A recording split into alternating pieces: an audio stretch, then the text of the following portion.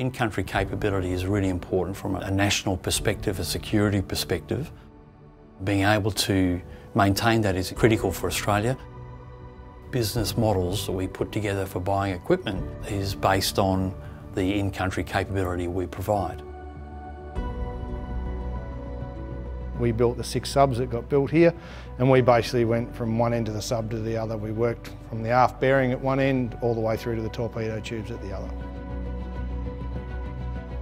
Our new CNC machine we use for machining large propellers and the ride control systems, there is this requirement that what else can it do?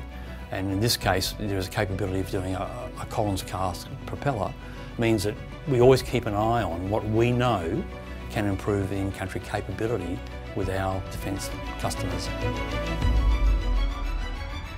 The submarine is a pressure vessel which works under extreme conditions. 45 to 50 submariners being underwater for days on end, we need to be absolutely assured that they're absolutely safe. Maintaining submarines is complex.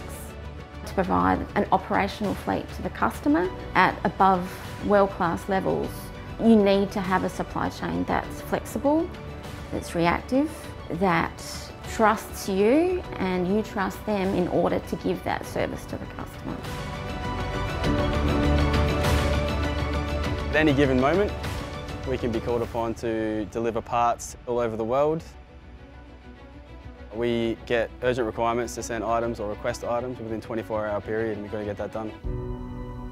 We've been building and maintaining submarines for 30 years, so we have built up an incredibly robust and resilient supply chain that helps us to do that.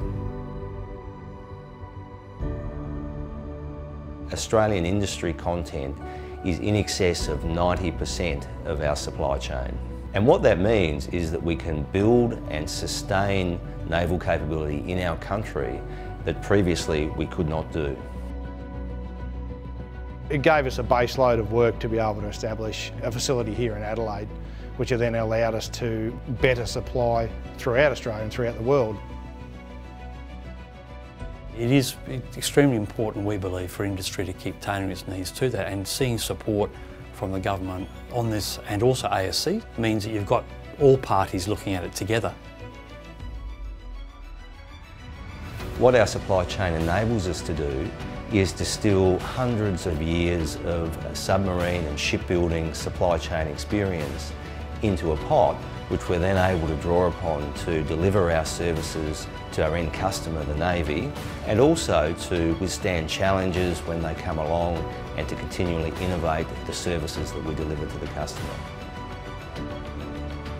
We're all in it for the end game, which is availability of the Collins class at sea and the protection of the nation.